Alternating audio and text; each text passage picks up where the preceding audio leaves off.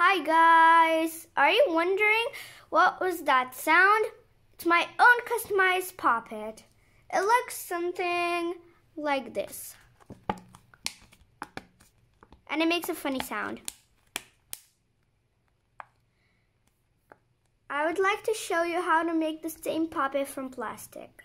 Let's go on making it. Put this to the side and let's gather up all our material materials. We need one candle, a spoon, a lighter, and some scissors, but we're gonna use them later. And the most important thing is the plastic placemat. Usually we use it for the kitchen to protect the tabletop you can buy in any like kitchen shop and this is the main thing we're to be using today. Before you start, you need adult supervision because we are going to use candles and fire. Now we are going to light the candle. My dad will help me out. And kids, do not touch the fire. So now we will put the spoon down and put it on the fire like this. Please ask an adult for help in this step. Beware that you need to count to 25 or 30. I'm gonna count. One, two,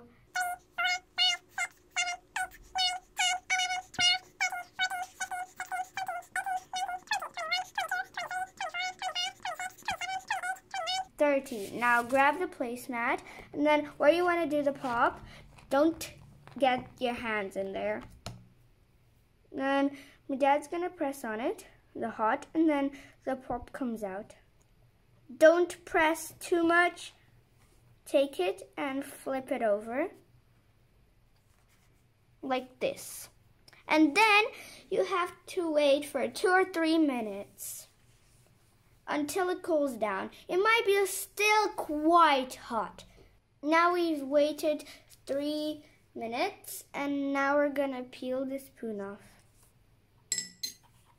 You can cut it in any shape you want. You can make it as many pops as you want.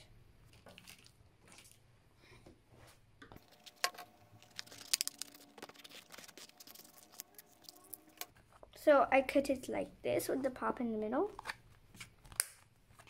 It won't pop from this side like normal pop it, eh, but it will from this side.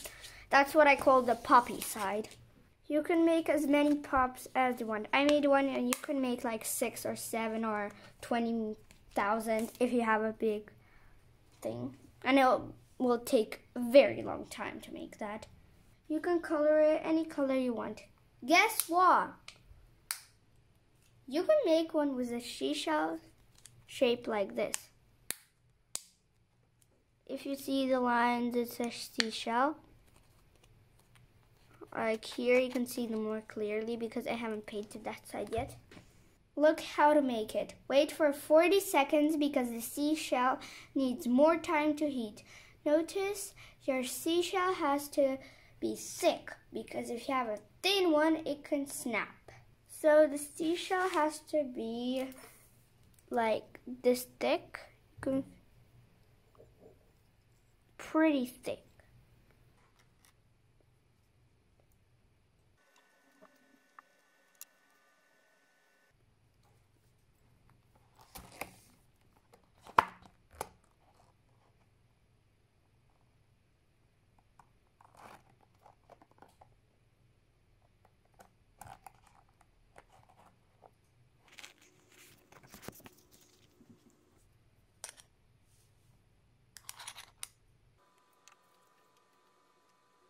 Flip it over and wait for three or two minutes until it cools down.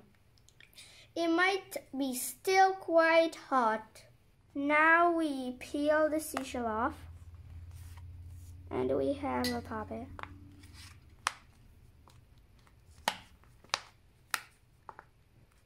You can play with it.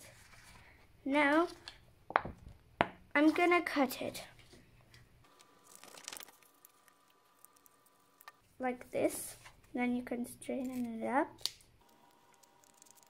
like this. And now we're gonna um, color them both in. I have a box of Sharpies. Here are a few. So I'm gonna color them both. And we also need to blow the candle off. Beware not to put your hand over the candle because it's hot. Now I'm gonna color them in.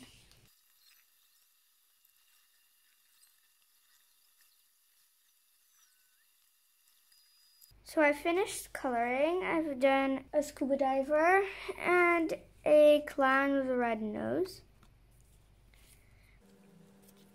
These are all my homemade pop its. I hope you enjoyed this video. Bye!